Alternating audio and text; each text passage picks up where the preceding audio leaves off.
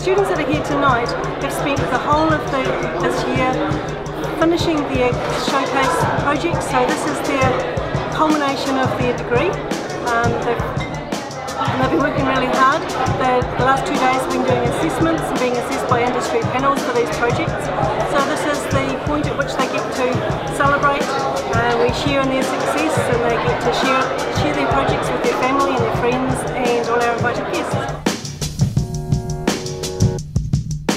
I'm part of a project group called Student Support.